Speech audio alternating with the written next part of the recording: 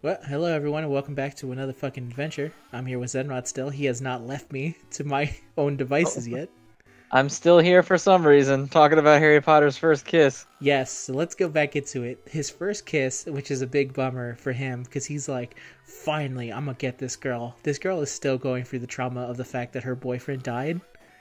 So she starts kissing Harry, and then he's All right, wasn't she banging Cedric Diggory? yes, Cedric, who is uh, in every way possible better than Harry. dead? He's dead. He's dead as fuck. He's DOA. He was dead on arrival when he went to go join the Wizard Cup. Um, so she starts kissing him, and I'm gonna guess either because she's sad because she is betraying the guy she loved for this asshole Harry Potter, who seemed to just literally. Fucking douche, Harry Potter. I'm just gonna say right now, Harry fucking slid into her DMs so quick after after that guy died. like he didn't even Yeah, wait. especially because he died helping Harry, right? Like, come on, man. Yeah, she show some fucking class, Harry Potter. Also, notice how. decorum, maybe. how we lost almost all our cards. Let's but first let's talk about Roland Kegg, the president the present president of the English Gobstones Quidditch team. So this guy isn't even a player. He's just literally like I own a team. Put me on the card. Put me on the card. I own a Quidditch team. I've had one before. It's perfect. So yeah, he slid into this girl's he tried to slide into this girl's pants so hard like the body was not even cold when he tried. The body was not even cold. The body wasn't cold. That motherfucker had just died for him, and he was already going like, "So you're available? Is that what I'm hearing?" so he kisses her. Trust me, Cedric is dead. I was there. Oh, I was there when the Dark Lord came back. Like, you know, I did my best to help him, but you know, shit just happens. He told me to bring back his body. Aren't, aren't I a considerate guy? aren't I fantastic? Harry Potter's my name, by the way. I don't know if you heard. I was the boy who lived. Wizard Savior, that's me. Wizard Jesus. I believe that is what is on my name tag. So anyway, uh, she starts crying mid kiss because she's feeling so many emotions, and fucking Harry starts. I think when he's talking to Ron, he says, "I think she started crying." And he's like, I don't know, it felt weird because, but then like the book starts to talk about how like her tears are going into the kiss, so they sound, so they tasted salty. And I was like, okay, JK, I think someone needs to get take away the fucking book from you for like a brief second. Someone should have said, can you not get into the fact that Harry is like kissing through this woman's tears? Yeah, it, it definitely has an interesting uh, connotation to it when you put it that way. Yeah, it's like Harry. There's a time and place. there, you really shouldn't have been doing that. And then I think like they ended up breaking up a little bit later because um, one of her friends betrays the Order of the Phoenix, and she gets like a terrible curse put on her because Hermione puts it on her. And then instead of being like considerate to his girlfriend, he goes like, "Yeah, the bitch deserved it." Like, and then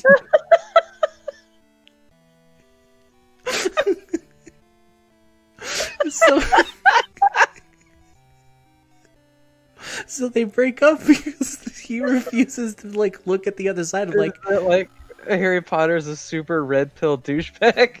100% like that's how i feel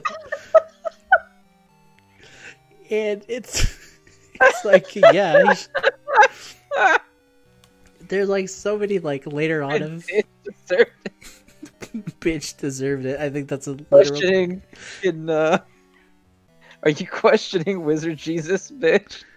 Listen, I think we said at the start that we were all down with the fact that someone was gonna get cursed if someone fucking snitched. Your friend snitched because she was weak. She's not like me. She's the she's the girl who snitched, honestly. and she deserved girl who snitched. the girl who snitched. You're finally inside your family vault. It's hard to believe you never knew about it before. Fucking Harry. Look at him with his millions. I was the boy who lived. She was the bitch who snitched. the bitch who snitched.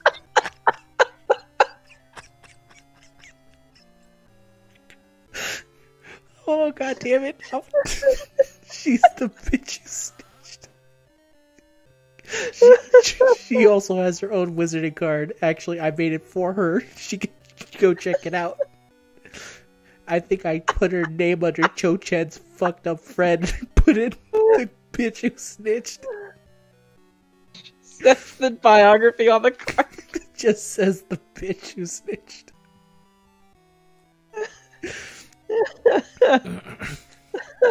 oh, that's Fuck. perfect. Yeah, so a lot of like what Harry does. Harry Harry is like a really shitty boyfriend is what I'm trying to say. Yeah, he's like a huge asshole. He is. And then I still can't get over the fact that I think that Ron is just 100% okay with the fact that he's going out with his the younger sister. I'm just saying, if I was in that same They've been friends for a long time. I mean, maybe they've been friends for a long time, but I feel like at a certain point you got to go like, "I'm sorry, you're doing what to my?" Because he also realizes that Ron was super unokay with the fact that that man, like, his sister was out giving like hand jobs behind his back or something when she started like hitting puberty. so he's like, "I'm super not okay with the way Jenny's handling," and then Harry's like, "Damn, do you have her number? Can I put her?"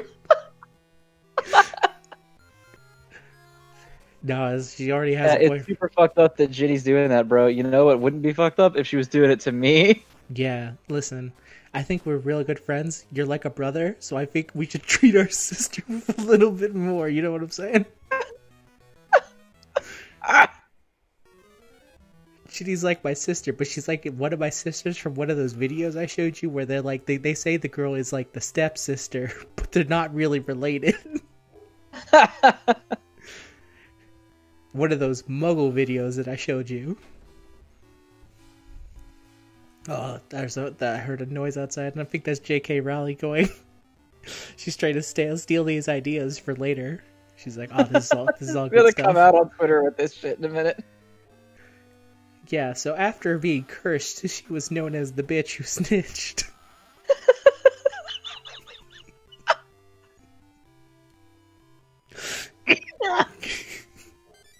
Harry was a real asshole about it. He did not let it go at all. We're gonna find this on that character's Wikipedia page. oh god, I wish.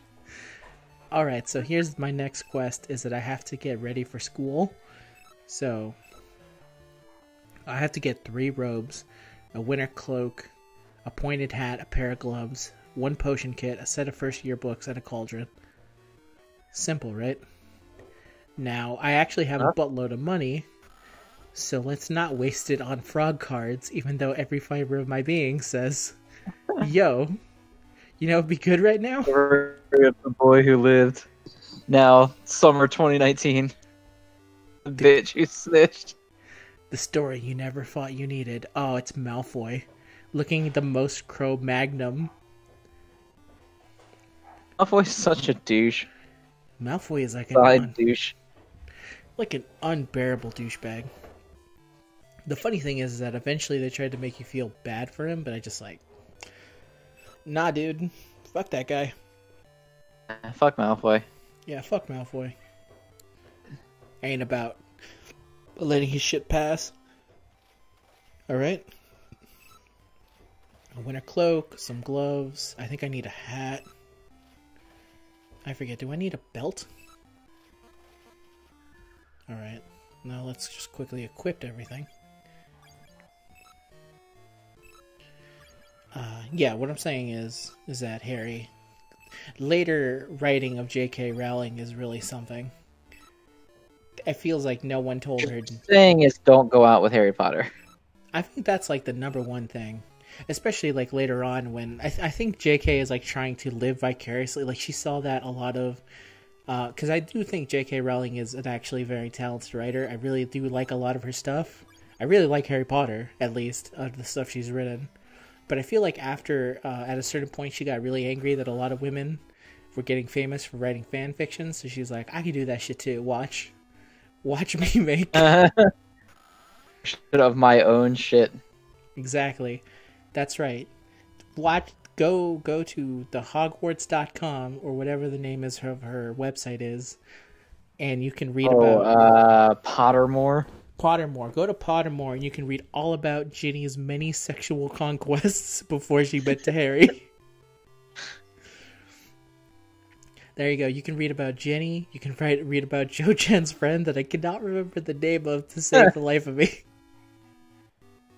because all I want to say is that bitch who snitched is her legitimate name. She's gonna write a fucking story about Jenny's sexual escapades. It's gonna be Fifty Shades of some fucked up weird wizard color. Fifty Shades of Red because she's a redhead. Uh, just I, I'm sure there's some dumbass word in the ninja. Uh, the, I said ninja in the wizard world. I'm conflating it with Harry Potter or the Naruto now. I'm going to be the next Hokage. Dumbledore. I can't sell you. Bitch who snitched is of course Sasuke. Oh, he's 100% the bitch who snitched. This guy, my fucking drug dealer that got me into the cards, is over here. Okay, he's the one who's trying to tell me that there's secrets everywhere. But I already bro, got this. you liking these cards, bro? Bro, go inside, reach inside the barrel real quick. you feel about these cards, bro? Come on. I know you love, um... Oh, I found a card, by the way. I was about to make up a name, but now I'm not gonna have to. I know you love Gaspard Shingleton, celebrated inventor of the self-steering cauldron. These guys have to all be canon, right? They actually just went to JK and said, like, "Do you have some wizard names?" That's what they did. Could you just name some stuff for me?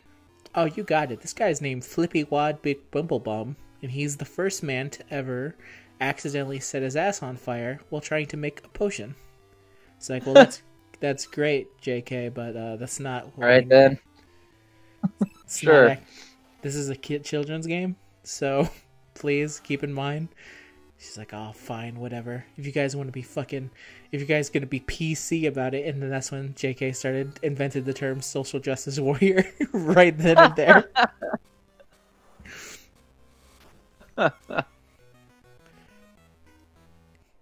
Don't worry, I'm I'm I'm I'm with the cause. Let me tell you about my first Jewish wizard, uh, uh, Benny Goldstein, who was totally a real. Are you a collector? I have a card that might interest you. God, It's, it's deep in my pocket, Harry. on, reach in there. Just Grab reach it. in. Reach in. Oh, he wants Circe. I don't even know what that is. Must be a firsty. Sorry to bother you. So this man tried to totally pr- pr- proposition us. But he isn't even going to give me the damn card. That's the worst thing. I think there is actually a way to get the stone that he wants, but I have to keep on grinding a bunch of rats, and, you know, I'm not about that life right now. Yeah, that's fair. Okay, I need a cauldron. I'm gonna get the most expensive cauldron. Damn right. Because I'm fucking balling. I'm balling out of control right now. Let me see. I think right now I can actually make a potion of some kind. The question is, can I? Actually, don't know any fucking recipes. So there's that. So we're not gonna do that. All right, I think everything we got is uh, ready for school.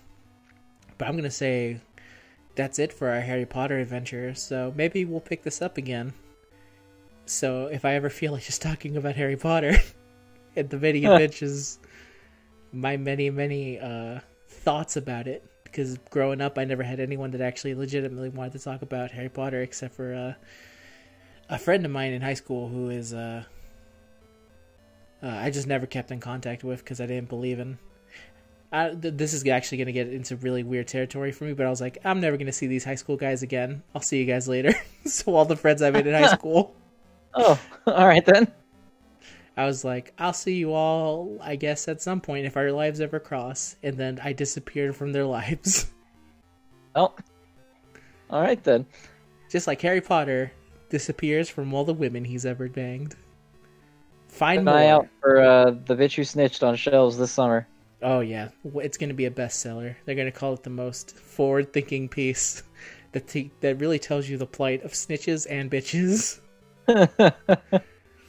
they didn't feel it was. They really felt that they should have given uh, Cho Chen's, uh, which I again is that actually her name? Just to be Chang. Cho Chang.